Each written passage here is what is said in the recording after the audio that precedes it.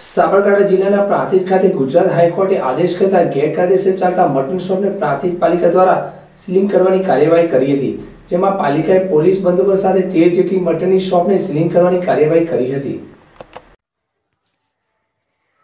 પ્રાંતિજ શહેરમાં ગેરકાયદેસર ચાલતી મટન શોપની નગરપાલિકા દ્વારા આજે સીલ મારવાની કામગીરી હાથ ધરવામાં આવી હતી જો કે ગુજરાત હાઈકોર્ટે કરેલા આદેશ બાદ શહેરમાં મટન શોપને સીલિંગ કરાઈ હતી તેને આઠ ફેબ્રુઆરીને દિવસે મટન શોપ ચલાવતા વેપારીઓને પાલિકા દ્વારા તેર વેપારીઓને નોટિસ આપવામાં આવી હતી ત્યારબાદ આજે પ્રાંતિજ નગરપાલિકા દ્વારા પ્રાંતિજ વોરવાડ વિસ્તાર તથા ગલેચી બાગોળ વિસ્તારમાં આવેલ તેર મટન શોપને ચુસ્ત પોલીસ બંદોબસ્ત સાથે સીલિંગ કરવામાં આવ્યું હતું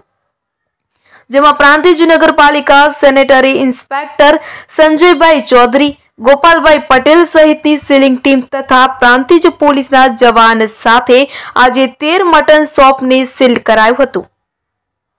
ઉમંગ રાવલ ઝેડએસ ટીવી પ્રાંતિજ